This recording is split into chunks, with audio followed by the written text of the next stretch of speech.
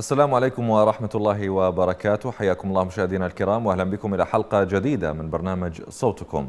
نستمع إلى تعليقاتكم ومشاركاتكم من خلال أرقامنا التي ستظهر أسفل الشاشة أمام حضراتكم بعد قليل وأيضا من خلال خدمة الواتساب التي تقدمها قناة الرافدين والتي تمكنكم من إرسال رسائلكم النصية التي سنقرأها تباعا إن شاء الله في هذه الحلقة.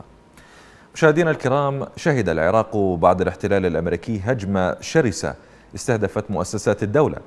تمثلت هذه الهجمة بالتزوير بكل أنواعه والذي دمر هذه المؤسسات من الداخل وجذر مفهوم المحسوبية والواسطة والتلاعب على القانون لغرض التعيين والحصول على الامتيازات. المتورطون بهذا الملف هي بالطبع حكومات ما بعد الاحتلال التي شكلتها الأحزاب والتي استغلت السلطة لتملأ المناصب في المؤسسات الحكومية بعديمي الكفاءة والخبرة على حساب مئات الآلاف من العراقيين الخريجين وأصحاب الشهادات العليا والذين نراهم يجلسون على الأرصفة أو يعملون في مهن لا تمت لتخصصاتهم بصلة وذلك فقط لتأمين قوت يومهم وعوائلهم.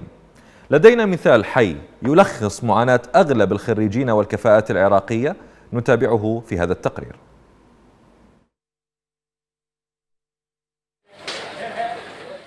قد لا يصدق الكثيرون أن بائع الدجاج هذا حاصل على درجة الدكتوراه من كلية الفنون الجميلة في جامعة بابل.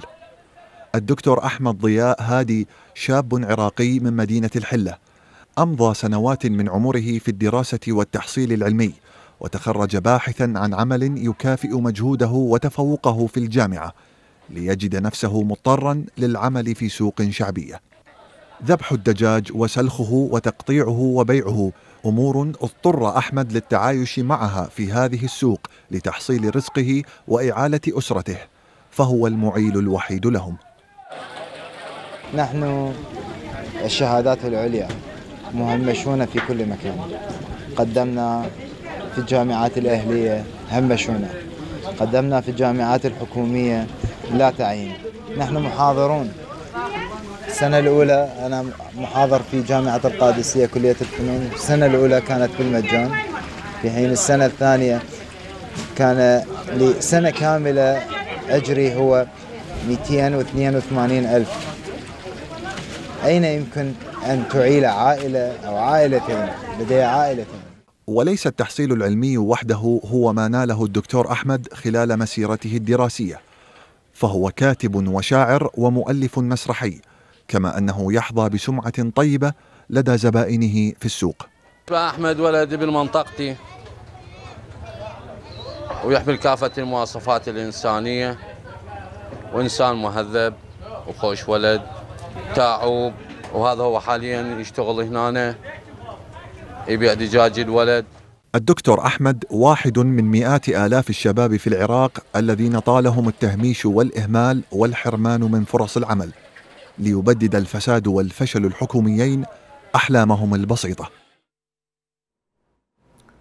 تابعتم مشاهدينا الكرام هذه القصة المأساوية حقيقة للدكتور أحمد الذي يعمل في سوق شعبي وبهذه الطريقة التي تابعتموها قصة ملخصة آه، واقع مأساوي يعيشه كثير من شباب العراق الخريجين وأصحاب الشهادات العليا الذين اليوم أيضا نراهم يتظاهرون في مناطق مختلفة من العراق للمطالبة بالتعيين وبحق مشروع أن يعملوا بتخصصاتهم أن تكون ثمرة الدراسة الحصول على وظيفة في هذا البلد الغني البلد الثري.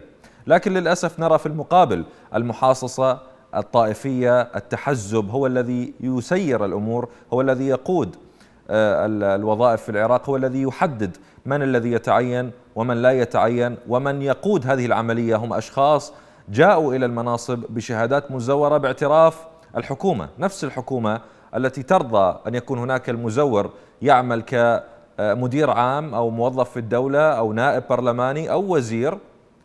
نرى الشاب الحاصل على الدكتوراه يبيع الدجاج بهذه الطريقة في سوق شعبي. ليست مهنة آه، عيب حقيقة لكن يعني قيمة الدراسة التي درسها وقيمة التعب والاجتهاد الذي قام به وفي النهاية تكون آه، هذه النتيجة.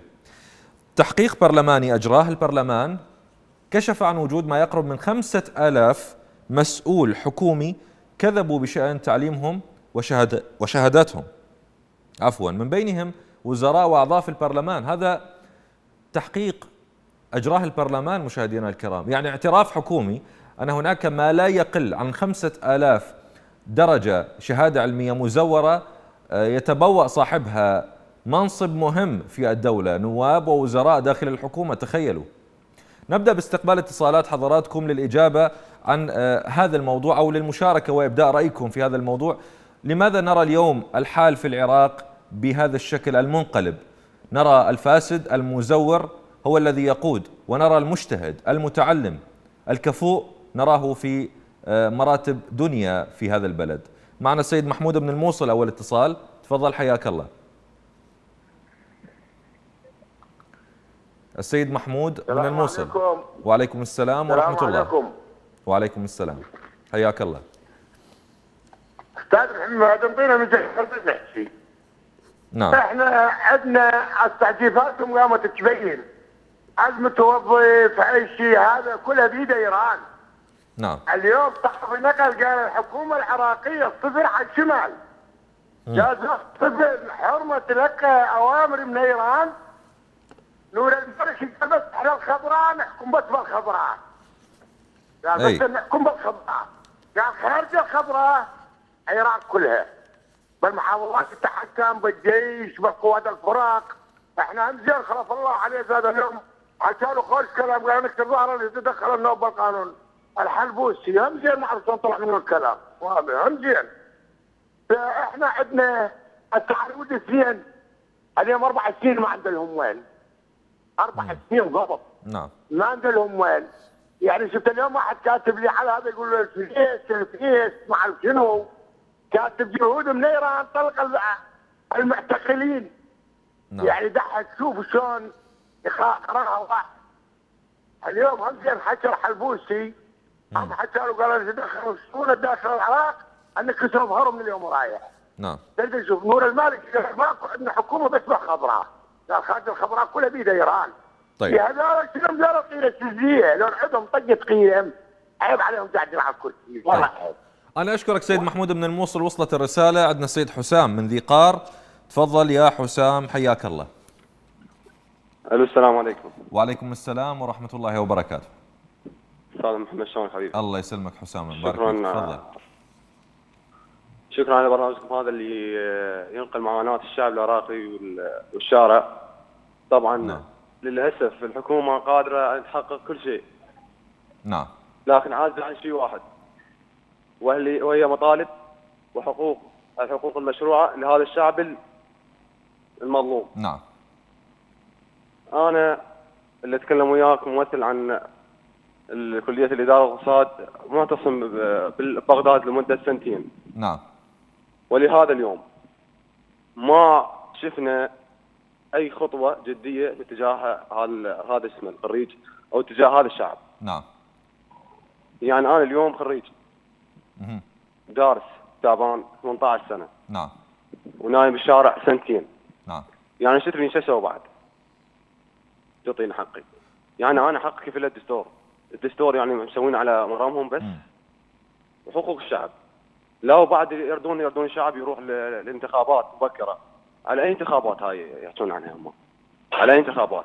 حسام اليوم حسام اليوم انت تباوع وتشوف الوظيفة اللي هو انت المفروض انت تاخذها. وظيفة تكون مخصصة لك المفروض. نشوف اليوم بالعراق يجي واحد من حزب أو من ميليشيا أو مسنود من شخص موجود في الدولة ياخذ وظيفتك أو وظيفة واحد مثلك كفؤ خريج ويحصل عليها وهو ما عنده ابتدائية بسبب التزوير وبسبب الطائفية والمحسوبية. شنو شعورك أنت اليوم مواطن عراقي خريج؟ تشوف بعد كل هذه هذه السنين من التعب وأنت ياخذ مكانك واحد لا شهادة ولا كفاءة. للأسف إحنا 18 سنه تلقينا بهيك ناس خوش؟ وفي نعم. شيء آه في قانون وفي نظام. كنا مخدوعين. للأسف يعني هسه يعني الشعب أشوف أنا أنا إذا إذا مو نصه فسرت من عنده لحد الآن بعد هو ميقن بأن هاي الدولة وهذا النظام هو جاي خدمة. بس نعم. هو ما ما يدري يخدمه يخدم البعض من هذا من هاي النسبة ال 40 مليون إذا يريد يخدم هذا البلد 5 مليون واللي هم الناس المتعذبين. نعم. وهاي هاي الناس الناس متحزبين بالشارع شو تكون لهم تكون لهم قوة وش؟ نعم. فرساله هذا هذا الشعب رسالة لكل خريج بالعراق وش؟ اطلع نعم. طالب حق الايد الإيد واحدة ما تصفق وش؟ نعم. خلينا إيد واحدة وقوة هذا هذا هذا النظام لازم ما يوقف كافي نعم. كفى يعني كفى تهميش كفى مماطله كفى ظلم يعني إلى متى يبقى هذا الشعب فقير. فقير هو أغنى بلدان العالم. نعم. سيد حسام أنا أشكرك شكرا جزيلا للمشاركة. طبعا مؤسسة الأغذية العالمية تؤكد أن نسبة البطالة في العراق آه، أكثر من 40% ونسبة الفقر تتخطى 31% هذا باعتراف مؤسسة الأغذية العالمية وهي قبل تقريبا ثلاثة أشهر أصدرت هذا التقرير.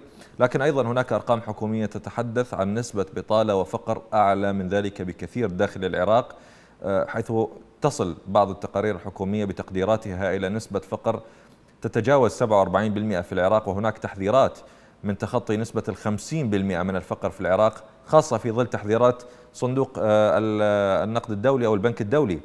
بأنه آه، نسبة الفقر في العراق أو العراق مقبل على خمسة ملايين عراقي آه، مهددون بالفقر وبالتالي هذا الموضوع طبعا يرفع نسب البطالة داخل البلد. أكو قصة حقيقة نريد نطرحها وهي كانت قد ذكرت في عام 2016 حول نظام التعيينات. نظام التعيينات آه، طرح بخصوص وزارة الخارجية تحديدا. المتحدث كان هو وكيل وزارة الخارجية السابق محمد الحاج حمود. قال في لقاء سابق على إحدى القنوات شاشة إحدى القنوات الفضائية كيف يتم تعيين السفراء؟ يقول تأتي القوائم من الأحزاب وهو يتحدث عن نفسه بأنه هو كان في لجنة مقابلة المرشحين. تأتي قوائم من الأحزاب هذا الحزب طرح خمسة أسماء هذا الحزب طرح أربعة أسماء وهكذا مجموعة أحزاب في العراق تحكم تقدم مرشحيها. يقول يجي واحد أسأله ليش جاي؟ يقول ما أعرف ليش جاي. قالوا لي أكو مقابلة في وزارة الخارجية روح قابل. يقول أنا أباوع علي أصفن أقول له شو تريد؟ طيب يقول له بكيفك؟ عيني قنصل عيني سفير عيني آه، بعثة أي شيء. أنا قالوا لي روح قابل وجيت أقابل. يقول أنا باوع على حال وزارة الخارجية. وهذا الموضوع يتكرر يقول رفضنا أسماء وتتكرر الحالة ونرفض وتتكرر والنتيجة اللي دا تشوفوها اليوم. قنصل وسفير وبعثات دبلوماسية أميين لا يقرؤون ولا يكتبون وشهادات مزورة. هذا حديث من آه، وكيل وزارة الخارجية السابق وهو كان مشرف على مقابلة آه، المرشحين. هذا الاعتراف بحد ذاته يطرح تساؤلات كثيرة. شنو دور الحكومة في معالجة أزمة التزوير والشهادات المزورة؟ ما هو دورها؟ لماذا لم نرى لغاية هذه اللحظة أي إجراء حكومي لإيقاف أو محاسبة كل من قام بتزوير شهادة للحصول على وظيفة؟ ليش ما شفنا المزورين يتم محاسبتهم واسترداد الأموال اللي تقاضوها على هيئة رواتب وامتيازات؟ كل اللي أخذوه يعتبر سرقة لأنه جاء باحتيال على القانون. القانون وين من عمليات التزوير المستمرة؟ وين من النواب وين من الوزراء وين من المدراء العامين والموظفين داخل الدولة اللي تعينوا بواسطة اللي تعينوا بشهادة مزورة وغيرها من أمثلة كثيرة تضيع حق شباب عراقي تعب على نفسه ودرس لسنين طويلة في النهاية يقعد على الرصيف وياخذ مكانه ميليشياوي ولا حزبي ولا شخص عنده فلوس أو عنده واسطة ثقيلة. بعض الأمثلة الأخرى اللي تثبت أن هذه الدولة تقف إلى جانب المزورين. النائب عبد الامير تعيبان وهو تابع لكتلة صادقون اللي تعتبر الجناح السياسي لميليشيا العصائب بزعامة قيس الخزعلي. هذا النائب في إحدى الجلسات البرلمانية في عام 2019 كانت الجلسة البرلمانية تناقش إعادة منتسبي وزارتي الدفاع والداخلية المفصولين بسبب تزوير شهاداتهم الدراسية إعادتهم إلى الوظائف. دا يناقشون الموضوع في البرلمان. طلع النائب عبد الأمير تعيبان وانبرى للدفاع عن هؤلاء المزورين المفصولين من وزارتي الدفاع والداخلية وقال أطالب بالنص أطالب بالعفو العام عن جميع منتسبي وزارتي الدفاع والداخلية المفصولين بسبب التزوير تزوير شهاداتهم. وقال بالتبرير أنه هذا حال الشباب العراقي. ليش انحرم من الحصول على فرصة حياة كريمة؟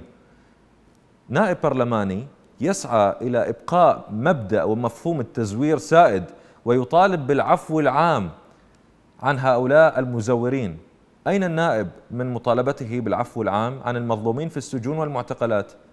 أين مطالبته بالعفو العام عن كل بريء عراقي موجود داخل العراق يعاني من بطش الميليشيات ويعاني من الفساد ومن التزوير وغيرها؟ ليش؟ ليش ينبرون إلى الدفاع عن المزورين عن الفاسدين؟ وليش ما نسمع أصواتهم دفاعا عن المظلومين؟ سيد صباح من بغداد تفضل. السلام عليكم. وعليكم السلام ورحمة الله وبركاته. بالنسبة للأوضاع اللي جاي يصير بالعراق يعني بالفترة الأخيرة يعني مع الأسف يعني وصلنا لهاي المرحلة على إيد السياسيين كلهم على إيد نعم. القضاء وعلى إيد اللي يحكمنا والوزراء واللي يسمون انفسهم مستلمين ملف أمني نعم. يعني هذه الانتهاكات اللي جاي يصير بحقوق المتظاهرين والمواضيع الملفات الفساد اللي تجاوزت الآلاف مؤلفة نعم. كلهم متهمين بها بالفساد البرلمانيين والسياسيين والوزراء وكلاء الوزراء الكل وحتى الأحزاب وقاده قادة الأحزاب والحشد نعم. كلهم متهمين لكن القضاء وينهم؟ وين نعم. عنهم؟ يعني وصلت المرحلة بيهم هاي الفترة السنتين من 2003 ولي جاي والسنتين يعني القتيل يقتل المقتول ويمشي بجنازته، نعم. يعني شوف المتظاهرين السلميين ينقتلون على دم بارد ما حد يداعي بيهم. والمشكلة أهالي المقتول الشهداء المتظاهرين يعرفون من الجاني. كل العراقيين يعرفون من الجاني. هو الجاني هي ميليشيات ولائية وصارت هاي بالفترة الأخيرة قاسم مصلح ما أدري شو اسمه هذا الميليشياوي نعم. اللي تم القبض عليه ومتهم بقضايا آه، قتل متظاهرين سلميين. و800 شهيد من المتظاهرين نفس الحالة. لو سرايا السلام لو حزب الله لو بدر هم اللي اللي قتلوهم. لكن المشكلة القضاء العراقي صامت. يعني اذا اذا اذا اذا إذا كان رب البيت في الدف ناقر فما شيمة أهل الدار يعني نعم. ما حد يقدر يحاسب أحد القضاء فاسد النزاهة فاسدة الوزراء فاسدين وزير الدفاع فاسد الكل نعم. تكالبهم على المواطن البريء المواطن اللي عايش على قوت قوت اليومي مم. يعني ما عندنا منصف المن تلتجئ الأمريكان يعرفون شكو ماكو ساكتين نعم. يعني الدول العربية والجامعة العربية واقفة ساكتة كل المجتمع العالمي والإقليمي ساكتين على الجرائم اللي جاي يصير بحق الإنسانية بالعراق من خطف وتغييب واغتيالات يعني يعني اليوم اليوم لما لما تحقيق برلماني يقول أكو أكثر من خمسة آلاف شهادة مزورة أصحابها نواب ووزراء ومناصب مهمة في الحكومة. ذولا شلون يقبلون هم أصحاب النفوذ؟ أن يتم فتح ملف الشهادات المزورة أن يتم محاسبة المزورين داخل الحكومة. إذا هم كانت الحكومة نفسها هي عبارة عن مزورين وأشخاص آه، عديمي الكفاءة والخبرة حصلوا على المناصب. شلون ممكن يحاسبون نفسهم؟ شلون ممكن يفتحون ملف آه، يبعد عنهم أو يحرمهم من الامتيازات والمخصصات وهاي الهيبة والحصانة اللي حاصلين عليها؟ يعني يعني طبعا إحنا نشوف الملفات هاي الموضوع هذا يعني يعني مثل محمد الكربولي وغيره وآلاف. مؤلفة مثل ما قلتوا بتقريركم 5000 شهادة مزورة نعم. بين وزير وبين برلماني وبين سياسي وبين مستلمين مناصب عليا م. عليا يعني كلها ناس مزورة شلون يعني يستمرون بالعملية السياسية وهم مزورين يستمرون لأن النزاهة. النزاهة والناس اللي على الموضوع مثل الأجهزة الأمنية كلهم فاسدين وهم جزء من هذا الفساد. فناس تسد الناس لفات نعم. يعني ما حد يحاسب أحد. محمد الكربولي طلع على واسط بالتلفزيون وحكاها ما عنده شهادة. شلون تصير أنت عضو برلمان؟ شلون وصلت لهذا المستوى؟ لأن لأن القضاء فاسد والنزاهة فاسدة نعم. وكل فاسدين وسراق وحرامية وناس حاطين بحلوق ناس والضحية إحنا، الضحية إحنا يجينا شخص غير مناسب. بالمكان المناسب سواء برلماني أو أو وزير نعم. أو مسؤول أمني ما يمس... ما يشتغل بصورة صحيحة، لا يبني، لا يعمر، لا يستلم نعم. ملف حقيقي، لا يحاسب مقصرين، لا القضاء ياخذ يعني دوره العادل في في هاي القضايا اللي موجودة ياخذ له نعم. يبوق له طفل آه، باكية كلينس يحكمونه ست سنوات واللي سرق أموال العالم مثل نوري المالكي نوري المالكي وملفه لفه مليارات ألف مليار ما حد يعرف بيها وين راحت نعم. والعراق شعب شعب يعني يعاني من من نقص بكل شيء بالمواد الغذائية وبال بالوضع الاقتصادي كل شيء عندنا نقص وحتى بالزراعة وبالأمور كل الملفات عاطله ما حد يقدر يحاسب أحد ما حد يقدر يحاسب نور المالكي لأن هو جزء من من منظومة فاسدة. نعم. أيضا ذول اللي المزورين ما حد يقدر يحاسبهم كلهم مستلمين مناصب. نعم سيد صباح أنا أشكرك وصلت فكرتك شكرا جزيلا للمشاركة. عندنا سيد أبو محمد من كركوك. فقدنا الاتصال يا أبو محمد. آه يعني أحد في طبعا البحث عن هذه المعلومات وهذه الحقائق كشفت بعض التصريحات وبعض المقابلات اللي أجرتها وسائل إعلامية مع آه، أحد الكفاءات العلمية العراقية. شخص حاصل على درجة البروفيسور. هذا الرجل مواطن عراقي صاحب درجة علمية عالية جاء إلى العراق محاولا أن يقدم خدمة إلى بلده يقدم خدمة إلى مجتمعه. تفاجأ في بيئة حقيقة تفاجأ ببيئة آه، مليئة بالفساد والتزوير. قال نصا بأنه أنا كيف لي أن أعمل في بيئة مليئة بالفساد مشكوك بصحة الدرجات العلمية الموجودة وبصحتها العلمية الموجودة وبالتالي عاد إلى بلد المهجر راح يقدم خدماته إلى بلدان أخرى. اليوم كم عراقي حاصل على درجة علمية عالية في بلاد الغربة في المهجر؟ يقدم خدمات إلى بلدان أخرى احتضنته واحتوته ودعمته نظرا لكفاءته وخبرته أو بعضهم قاعد بلا شغل بلا عمل هارب من الموت هارب من الفوضى الموجودة في العراق. شلون اليوم إحنا نشوف هذه النماذج وفي المقابل نشوف الأميين الجهلة المزورين موجودين في الحكومة ويقودون هذا البلد والنتيجة شنو؟ من عندنا اتصال؟ السيد أبو أحمد من النجف تفضل. السلام عليكم ورحمة الله. وعليكم السلام ورحمة الله وبركاته أخي العزيز طبعا هو المواطن العراقي شيء يريد من الحكومة نعم. يريد الحكومة توفر له يعني أي شيء كريمة توفر له عمل توفر نعم. له أمان توفر له وجبة غذائية. نعم. لكن مع الأسف يعني كل هذا ما موجود. والآن المواطن يعني يحس بمعاناة مو طبيعية. إحنا نرجو يعني من كل الخيرين اللي يدعون بأنهم يمثلون الشيعة أو يمثلون السنة. إذا يمثلون الشيعة أقول لهم بأنه كان الإمام علي عليه السلام رجل عادل ولا يقبل بالظلم وإن كان هؤلاء يمثلون السنة أقول لهم إن عمر بن الخطاب كان رجلا عادل وذهب من الدنيا وثيابه نظيفة. نعم. تمثلون من أنتم؟ تمثلون من اتقى الله في هذا الشعب المسكين هذا الشعب الذي وصل إلى حد المعاناة هذا الشعب الآن يتمنى الموت كره هذه الدنيا من وراء أفعالكم التي لا تليق ابدا. نعم. وحسبي الله ونعم الوكيل. وأسأل الله سبحانه وتعالى أن يفرج عن العراقيين. سيد أبو أحمد آه، أريد أسأل حضرتك اليوم ليش ما نشوفك محاسبة حكومية أو آه، اتخاذ إجراءات قانونية ضد كل من زور واستغل ضعف الدولة في سبيل الحصول على منصب؟ ليش ما نشوف السلطة تنظف مؤسسات الدولة الحكومية من هؤلاء المزورين؟ عديمي الخبره عديمي الكفاءه اللي ياخذون راتب بدون وجه حق. أبو أحمد فقدنا الاتصال. السيد أبو فاطمة من النجف تفضل حياك الله. السلام عليكم ورحمة الله وبركاته. وعليكم السلام ورحمة الله حياك الله أبو فاطمة. الله يحييك أخي محمد. حقيقة هذا الموضوع موضوع تزوير الشهادات. نعم. آه، منذ 2003 إلى يومنا هذا نعم. وإذا كان آه، المجرم وزير التعليم العالي علي زندي الأديب التبعية الإيرانية كان مزور شهادته وقتل نائب آه، معاون مدير معاون مدير التربية في في الرصافة. نعم. كذلك علي العلاق أيضا شخص كل معظمهم شهاداتهم مزورة في إيران كانت. نعم.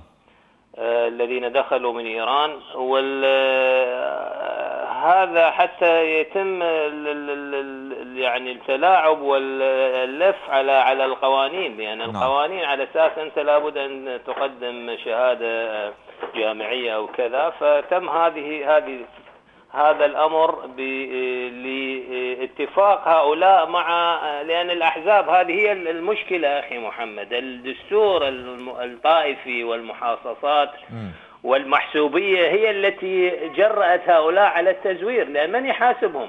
نعم. ابن عمه وأخوه صديقه في الشرطة وفي في وزارة العدل وفي التحقيقات وإضافة نعم. إلى الرشاوى، يعني الرشاوى الآن معروفة في العراق الفساد فلا يستطيع ما يخافون أخي ما يخافون نعم. من من يخافون إذا ما في قانون لا يخاف الشخص يستمر بهذه الطريقة وستستمر أخي قضية التزويرات إلى أن يتم يعني قلع هؤلاء وطردهم من العراق. هل تعتقد انه أنه ما يحصل اليوم من عمليات تزوير هي محاولة لتدمير أصحاب الشهادات العلمية الأصلية وجعلهم سواسية ويا الدخلاء ويا المزورين إن هم يكونون في خط واحد يحصلون على نفس الوظيفة ونفس الراتب وبالنهاية عندنا واحد اجتهد وتعب والثاني جاي بالواسطه والمحسوبية تتوقع هذا استهداف لأصحاب الشهادات؟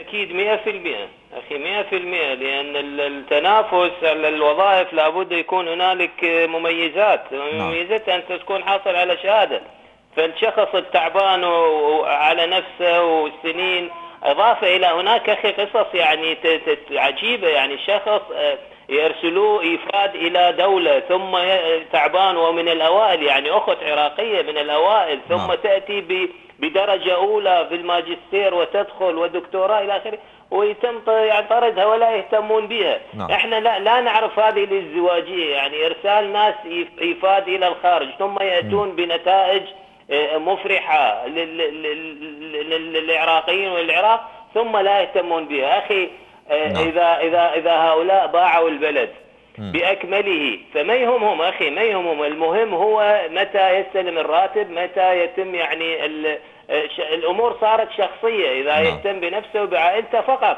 الاخرين خلي خلي يعني مع, مع احترامي طبهم مرض. ما نعم. حد يلتفت إلى الناس الفقر الجوع القتل الخطف. إذا القتل والخطف في الشوارع يعني ليل نهارا جهارا.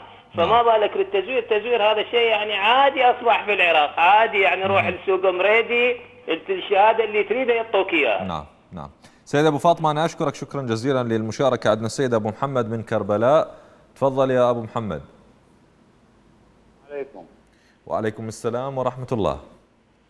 شلونكم عيني شلون صحتكم الله يسلمك الحمد لله بارك الله بك تفضل حبيبي هو التدوير كل المحافظات لا تعيين اكو شهادات نعم. عليا وشهادات أنا واحدة من بناتي مخلصه كليه قاعدة بالبيت نعم شنو الفائده يعني شنو الفائده؟ ليش قاعد بالبيت؟ ليش ما يحصل على وظيفة بلد من حقه انه يحصل على وظيفة؟ آه من يعطي وظيفة؟ من يعطي وظيفة؟ ليش ما ينطوا وظيفة؟ ليش اليوم إحنا عندنا المزورين وعندنا عديمي الخبرة موجودين في الحكم والوظائف؟ أنا ما اريد إحنا نريد شغلة شغلة أصولية حكومة عندنا قانون عندنا أكو دمنيج أكو كل شيء أكو اشياء نعم. حققوا حققوا اللي اجوا القانون؟ حققوه برأيك؟ لا اللي دي يحكمون؟ لا لا قانون لا قانون. هم محكومين كله بايران نعم. إيران هي تقول إحنا تقول إيران هي نفسها تقول إحنا محافظة العراق محافظة من إيران. امم نعم. إيران هي بنفسها تقول هي تحكم كلها بالعراق إيران. نعم. سيد أبو محمد من كربلاء أنا أشكر حضرتك. شكرا جزيلا للمشاركة. عندنا السيد عبد الرزاق من بابل. تفضل يا عبد الرزاق حياك الله. السلام عليكم. وعليكم السلام ورحمة الله وبركاته. أستاذ محمد نعم. التزوير أه، يكون على مستوى عالي خصوصا بالدولة. نعم. هذا يدمر الدولة ويدمر البلد لأنه ناس مو أصحاب اختصاص. وهذا اللي إحنا اليوم جاي نعيشه بالعراق لا تخطيط لا آه، مؤسسات دولة ترتقي بنفسها. مجرد ناس يعني همج وجهلة هم اللي جاي يتحكمون بالبلد وشوف البلد اليوم فقر تخلف بسبب آه، دولة اللي لا فيهم ولا علم مع كل الأسف اللي نعم. تدعمهم دول تريد الخراب والدمار للعراق نعم. فهذا اللي إحنا جاي يصير ببلدنا مع كل الأسف ومع كل الأسف كل الأشخاص لهم يعني من لهم مؤثرين يعني هو نقطة أستاذ محمد. يعني سيد عبد الرزاق هم, هم يدعون إلى بناء دولة مؤسسات. ويقولون إحنا نريد نبني دولة مؤسسات. شلون يبنون دولة مؤسسات؟ وهذه الدولة أساسها اعتمد على المزورين على المحتالين على الفاسدين في آه، مضامينها داخل مؤسسات الدولة. شلون يريدون يبنون مؤسسات؟ وهو المتحدث نفسه جايب شهادة مزورة. أستاذ محمد هو الكذاب يعني إيش تقبض من عده هو من يقول هذا الكلام حتى على مود يبقى حتى يبقى بالحكم وإلا شنو اللي يريد يقوله؟ ويعرف نفسه كل زين هم دول يعرفون كل يعرفون كل زين بأنهم هم مو أهل للمسؤولية. نعم. هم جايين يسرقون البلد ويعني ويصدقون الكذب مالتهم هي ناس طمت الكبرى هم نفسيتهم يعني نفسيه المسؤولين اللي اللي هسه متصدين للمسؤوليه مال البلد. هم نفسيتهم قرروا واعترفوا قالوا إحنا في شنة. قالوا إحنا في شنة واعترفوا بهذا بس ما أعرف شنو الإصرار هذا مع إقرارهم بالفشل.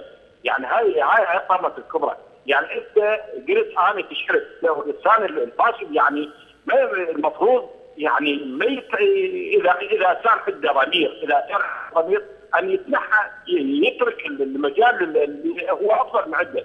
لكنه دول آه، أستاذ محمد يعني صراحة آه، هم الفكرة مالتهم الهدف مالتهم هو تدمير العراق لانهم دول ما عندهم أي وطنية. هم دول آه، ناس ولايين لدول أخرى ولائهم وكل العمل اللي جاي يشتغلوا به في العراق هو للدوله أخرى. يعني مو مو العراق هم نعم. كل سنة هم مو عراقيين. ما مرغوب بهم بالعراق. فلذلك هم هدفهم وكل اللي يردون يسوونه هو تدمير العراق نحن نعم. اليوم جاي نشوف العراق. العراق وصل إلى مرحله يعني بعد بعد يسكت عنها وأنا ما نعرف شلون تربيته ويا ذولا وتحياتي لك شكرا جزيلا سيد عبد الرزاق من بابل عندنا السيد أبو نزار من بغداد. تفضل يا أبو نزار. السلام عليكم. وعليكم السلام ورحمة الله وبركاته. حبيبي اني مظلوم من 17 سنة. نعم. ابني مظلوم من من 17 سنة لأنه اني ماضي سياسي. نعم. وسياسي نظيف مو يوم يوم شيوعي وثاني يوم بعث ثالث يوم مجلس أعلى رابع يوم. أخوان مسلمين ما ما أعرف مو من هالنمط هذه طيب. أنا عندي فكر ومشيت عليه إلى هذه اللحظة. طيب. لكنه ما ما اشتركت بالعمل السياسي لأنه البلد متجه اتجاه سيء. يعني نعم. اللي حاربناه وقفنا ضده مو بس مثل ما سووا نعم. إيه. أبو النزار شلون تشوف اليوم عمل م... شلون. تشوف اليوم أداء الدولة وعمل مؤسسات الدولة في ظل الحديث عن وجود تزوير ومزورين بأعداد كبيرة جدا داخل أروقة الحكومة بكافة القطاعات الحكومية. كلها واضحة أوضح من الشمس. نعم يعني أنا عندي حكم على شو يقولوا عليه؟ يقول لا توجد شهادة عيانية. المدعي العام يطلب الافراج عن المتهم الهارب لعدم كفايته على المتهم لو كان يسلم نفسه وين هي السلطات المختصة حتى اسلمه؟ أكو سلطات عندنا؟ ما عندنا سلطات مختصة. صح لو مو صحيح؟ نعم. آه، هذا هاي مشكلتنا. ومن أروح للقضاء هذه هذا قلت له أنتم قبلتوا محامي. والمحامي حضر. ما قبلتوا أجيب شاهد. وتقولوا لا توجد شهادة عيانيه على شنو حكمتوه؟ برايك برأيك شنو الحل لما نشوف اليوم دولة يخرج نعم. بها يخرج بها المسؤول؟ مثل النائب عبد الأمير تعيبان اللي يقول بأنه أطالب بالعفو العام عن المزورين المفصولين من وزارتي الدفاع والداخلية. في وقت إيه؟ ما نسمع صوتهم يطالبون بالعفو العام عن المظلومين من السجناء والمعتقلين. كلهم مزورين. وكلهم قتله نحكي قلت لك يا أخي أنا أنا قاعد قبالك نعم. يعني بالتليفون احكي وياك. نعم. نص بالدولة يعرفوني أنا مناضل وموقوف ب 63 وموقوف بال 70 الشهر الثالث محكوم بالإعدام وأسلحة بيها وأشكال أشكال. وما ما قلت ما أحشر نفسي ويا ناس مجرمين. نعم. أكثر من هاي؟ سيد أبو نزار أنا أشكر منو فيهم حضرتك؟ داخل قصر النهاية؟ أنا أنا. طلع لي واحد بالحكومة داخل قصر النهاية. أشكر حضرتك شكرا جزيلا للمشاركة أبو نزار من بغداد وصلت فكرتك. عندنا السيد محمد من بغداد أيضا. تفضل يا محمد حياك الله. سيد محمد. سيد محمد تسمعني؟ صوتك غير واضح يا ريت لو تغير المكان لو سمحت. فقدنا الاتصال مع السيد محمد من بغداد. طبعا الحكومة والبرلمان اللي أطر الميليشيات أو وضعها داخل إطار قانوني هو نفسه اللي خرج بقانون معادلة الشهادات شنو هذا القانون؟ هذا القانون أقر البرلمان وطبعا آه، واجه انتقادات كبيرة من قبل الكفاءات والأكاديميين والمتعلمين أصحاب الشهادات العليا نظرا لما سيتضمن وياي هذا ال ال ال ال القانون مفصل على مقاس السياسيين اللي اللي دخلوا إلى العملية السياسية بشهادات مزورة واللي جاءوا بدون خبرة ولا كفاءة علمية. آه هذا القانون مفصل على مقاس السياسيين الذين حصلوا أو يسعون للحصول على شهادات وألقاب علمية خارج الضوابط والمعايير العلمية الرصينة من جامعات ومعاهد أغلبها دينية غير معترف بها. شنو قانون معادلة الشهادات؟ هذا القانون يجرد وزارة التعليم العالي من اعتماد مبدأ التقييم العلمي في معادلة الشهادات ليتم اعتماد ما سماه بالموهبة. الموهبة ضمن إطار قانون أقر البرلمان حتى يتعين به شخص في الدولة يعتمد على مبدأ الموهبة والجهود المتميزة بالعمل كمعيار جديد في تقييم معادلة الشهادة وهو معيار غير محدد بحدود معينة وثابتة وينهي الضوابط الرصينة والمعايير المعتمدة في تقييم الشهادات. طيب نجي للموهبة والجهود العلمية المتميزة أو الجهود المتميزة بالعمل. من داخل العملية السياسية من السياسيين النواب المسؤولين داخل وزارات الدولة في الداخل والخارج يتمتعون بهذه الصفات؟ الموهبة والجهود المتميزة بالعمل. منو اليوم موجودين داخل هذه السلطة حتى لو تم إقرار هذا القانون بشكل رسمي معادلة الشهادة وتم اعتماده في العراق. منو من الموجودين اليوم داخل السلطة عنده خاصية أو ميزة الموهبة والجهود المتميزة بالعمل؟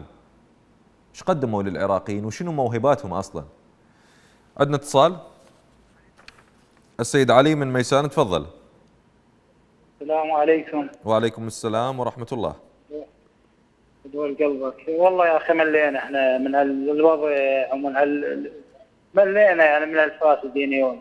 نعم. اي في دول قلبك أستاذ محمد. والله ملينا يا أخي من الوضع هذا. إي.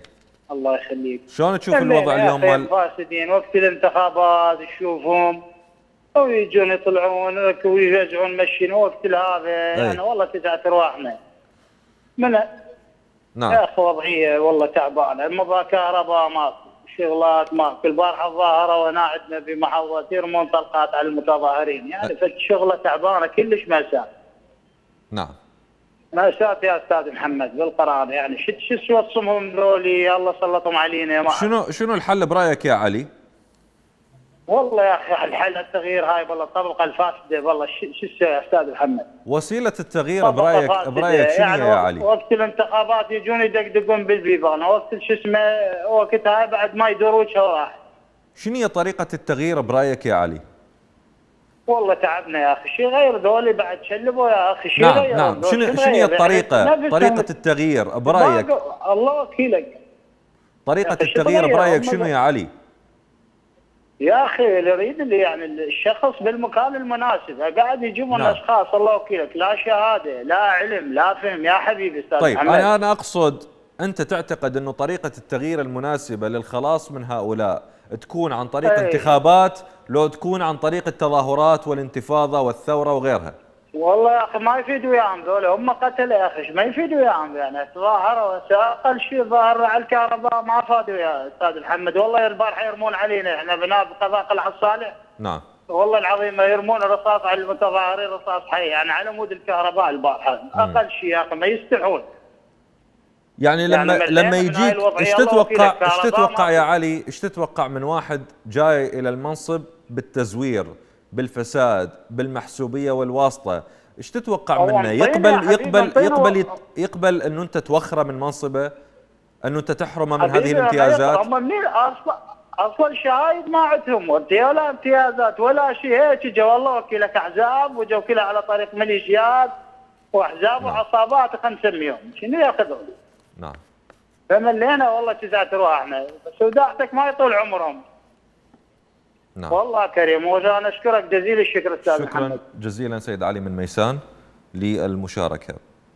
خلينا آه، خلونا مشاهدينا الكرام نقرأ بعض التعليقات اللي جاءت على تقرير اللي أنتجته قناة الرافدين بخصوص الشاب أحمد آه، اللي الدكتور أحمد اللي أحمد ضياء اللي شفناه في بداية الحلقة واللي كان آه، يمثل نموذج للخريج نموذج لصاحب الشهادة العليا العراقي اللي يعيش في بلد يعم مبدأ الفساد والفوضى والتزوير كل جوانب الحياة وبالتالي نرى النتيجة أنه هو قاعد في سوق شعبي يبيع الدجاج وهذا الموضوع مو عيب لكن هو آه، بعيد كل البعد عن تخصصه عن دراسته عن تعبه طيلة هذه السنوات. عندنا بعض التعليقات. تعليق آه، يقول لا حول ولا قوة إلا بالله العلي العظيم حسبنا الله ونعم الوكيل لعنة الله على الظالمين. الله يساعدهم حملة الشهادات العليا بلا تعيين بلا زواج بلا استقرار. الله يعينهم ويفرج عنهم يا رب. يقول أحد المشاركين تحسين يقول كل الخريجين وحملة الشهادات هذا حالهم. بس جماعات الأحزاب من دون شهادات وهم الفائزين والعاقل يفتهم. أيضا آه، ضمن التعليقات لدينا يقول حيدر حسبي الله ونعم الوكيل يدرس ويتعب وبالأخير يجد نفسه بائع للدجاج. هذا هو حال العراق. الإنسان اللي تعب على نفسه مهمش والإنسان اللي خلصها نوم ولعب تشاهده في أعلى المناصب. بلد ما يصير براسه خير من وراء هاي الثلة الفاسدة اللي تسير بسكة الجهل والفساد. أيضا آه، ضمن التعليقات من ثامر يقول أحمد والكثير من الشباب يعيشون في صراع نفسي في داخلهم. يقولون نحن أنجزناها آه، ما علي نحن أنجزنا ما علينا لكن لم نقطف الثمار. ولو تركنا الدراسة واتجهنا للعمل لكنا قطفنا ثمار مجهودنا وهذا ليس سهلا على الشباب أن تسرق أحلامهم. يجعلون الشاب العراقي يتجه إلى أمور كثيرة بعيدة عن الصواب ربما بعيدة عن الطريق الصحيح بسبب الظلم، كمية الظلم الموجودة والضغط على ال- الشاب، الضغط المجتمعي، ضغط من أهله، ضغط في حياته، الفقر، البطالة، الحاجة، كلها تقود شريحة آه، ليست قليلة من الشباب إلى طرق آه، يعني طرق ليست صحيحة آه، وفي النهاية يتساءل البعض لماذا هناك فوضى في العراق؟ النتيجة نتيجة نظام حاكم فاشل يقود المجتمع إلى الهاوية. يقول أحد ال- المشاركين أحمد يقول مو مهم أنه أحمد دكتور ويبيع دجاج. أهم شيء القائد جعفري وأهم شيء المذهب. طز بالإنسان أهم شيء المكون كل من ياخذ حقه بالحكومة ويتقاسمون بيناتهم. هذا من أحمد. يقول قصي عادي هواية عندهم شهادة متوسطة وأعضاء شهادة متوسطة وأعضاء برلمان ويتحكمون. بمصير الشعب كلش عادي دكتوراه ما عنده مكان بالوظيفة لأن هواية قبله مخلصين متوسطة ومزورين جماله ويقصد عن يقصد المسؤولين يقول آه، مارينا تقول يعني اللي يبيع سبح يتعين رئيس وزراء وغيره من آه، مدارسين ولا عندهم شهادات عضو بالبرلمان والخريج وشهادة كاسب هذا لو بغير دولة كان شهادة ومكانة ومحترم الله يعينه. للأسف هذا حال العراق مشاهدينا الكرام في بلد جاءوا بالوعود آه، الوهمية إلى العراقيين وصدق من صدق لكن النتيجة بعد 18 عام نرى آه، أن العراقيين قد وعوا إلى ما يجري حولهم ولا بد آه، للحكومة هذه والأحزاب أن ترحل بالطريقة السلمية طريقة التظاهرات والانتفاضة لا بهذه الانتخابات المزورة مسبقا ولا بأي طريقة تروج لها السلطة بالانتفاضة كما يقول الكثيرون. وصلت وإياكم إلى ختام حلقتنا لهذا اليوم. أشكركم شكرا جزيلا. لطيب المتابعة وإلى اللقاء.